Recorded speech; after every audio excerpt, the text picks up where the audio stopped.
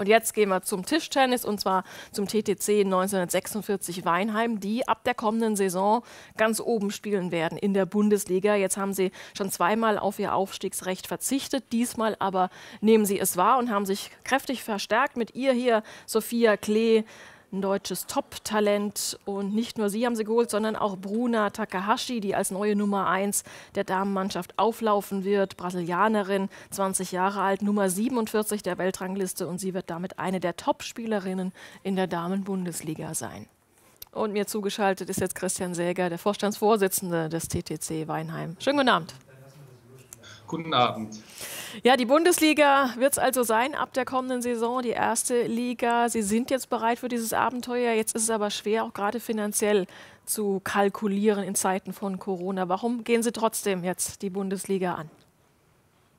Ja gut, es hat spezielle Gründe. Der TDC Weinheim ist, hat dieses Jahr sein 75-jähriges Jubiläum. Wir sind 1946 gegründet und haben die letzten zwei Jahre jeweils den ersten Platz der zweiten Liga belegt und auf den Aufstieg verzichtet. Und jetzt im, ja, im dritten Jahr mit dem Jubiläumsjahr haben wir uns im Vorstand besprochen, um trotz Corona den Schritt zu wagen und sind alle sehr gespannt, was uns ab September erwartet.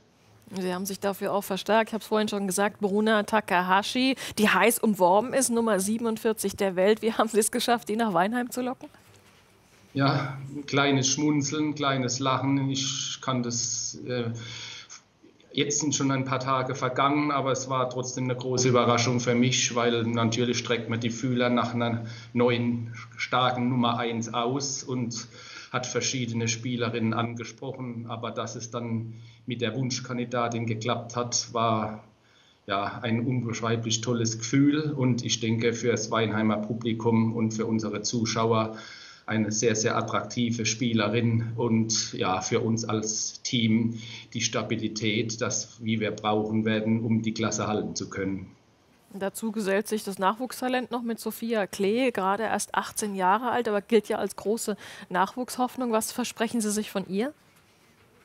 Ja, erstens, äh, von ihr ist eine deutsche Spielerin. Ähm, in leider das Thema Corona. Ich hoffe, dass es ab September besser wird, wie vorhin schon angekündigt. Aber ähm, die deutsche Spielerin ein, hat natürlich auch den Vorteil, dass die äh, Anreise zu den Spielen einfacher sich gestalten kann, wie jetzt für eine ausländische Spielerin. Und zweitens ist sie, wie Sie schon gesagt haben, eines der größten Talente in Deutschland. Und äh, ich denke, dass sie sich bei uns sehr gut weiterentwickeln kann. Mit Andreas Dörner haben Sie auch noch einen neuen Trainer. Wie werden jetzt auch die nächsten Wochen aussehen, wenn sich die Mannschaft auch noch finden muss?